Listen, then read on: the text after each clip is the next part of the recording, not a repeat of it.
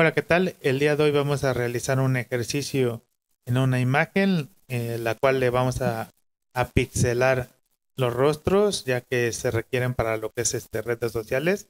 El ejercicio trata de eso, de que este, en alguna, en unas cuestiones de lo que es este protección de menores o algunas imágenes que no pueden ser publicadas, se requiere que eh, los rostros o en este caso algunas cosas como son accidentes, pues se cubran los rostros de las personas o este, algunas otras este, algunas otras secciones de las imágenes.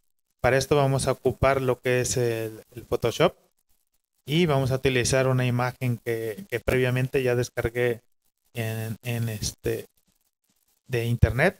Así que pues vamos a pasar a lo que es la herramienta. Como ven aquí ya tengo la herramienta y este tengo en este caso la, imagen eh, descargada. En este caso es la un juego de Pumas con, contra Chivas, a la cual le vamos a, este a seleccionar los rostros y les vamos a proceder a hacer el pixelado. Como, como ven, este, la herramienta Photoshop este, facilita muchas cosas, así que pues vamos a proceder lo que es la selección y vamos a mantener presionada lo que es este la tecla chip para eh, estar haciendo selecciones continuas. Bueno, la, la, verdad pues no se necesita hacer selecciones tan precisas. Lo que sí tenemos que tratar de cubrir lo, lo más posible lo que son las caras, porque es lo que se pretende que se, que se pixelen. Ahorita procedemos a este ya a seleccionar todas las caras como ven ya, ya terminamos este, lo que es la selección. Ya nada más la único que tenemos que hacer es aplicar un filtro. En este caso corresponde, nos vamos a, lo que es el menú. Seleccionar lo que es la capa, nos vamos a, lo que es el filtro y como ven aquí aparecen los filtros.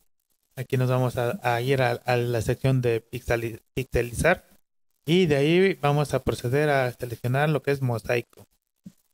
Como ven, la herramienta ya este previamente ya tiene este unos parámetros ahí predefinidos porque se los son los que utilizo, pero va desde lo que es 2 hasta ciento hasta los cuadros que uno necesite en la imagen. Bueno, esto va dependiendo de la calidad y de los píxeles que tenga la imagen, ya que a, a mayor este a mayor tamaño, pues necesitamos este realizar más cuadros. En este caso, pues la imagen tiene por lo mínimo unos 600 cuadros de lo que es 600 píxeles de ancho.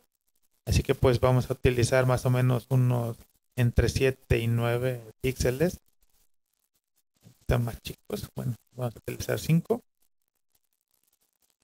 para que se cubran los rostros. Como ven, ya aquí ya, se, ya, no, ya no se alcanzan a ver los rostros o no se identifican. Así que vamos a darle en OK ya nada más este tocan de seleccionar y vamos a lo que es acoplar la imagen para que tengamos una imagen ya de, salida. Y pues vamos a proceder a lo que es este exportar el archivo.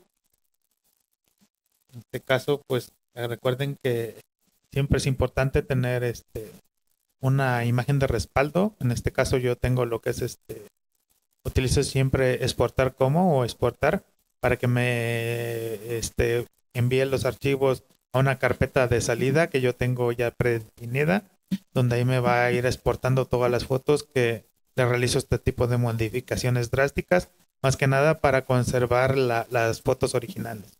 Y pues bueno, la, la, exportamos. Ven aquí ya están las damas de salida, le vamos a poner su título.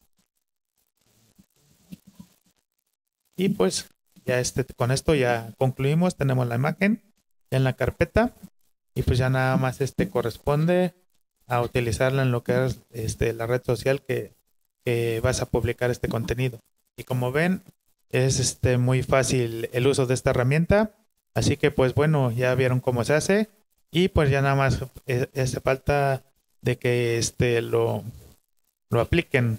Esta, esta función también se puede poner en una acción para que sea más rápido. Ya nada más se hace la selección y se aplica la, la acción y ahí se registran los, los parámetros.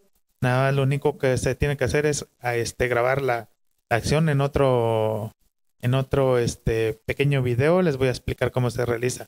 Pero bueno, ahorita este, por la necesidad me pidieron este video más que nada para que entiendan cómo es el funcionamiento de, de la herramienta y cómo pueden pixelar sus fotos para publicarlas en sus redes sociales. Y bueno, pues nos vemos en la siguiente.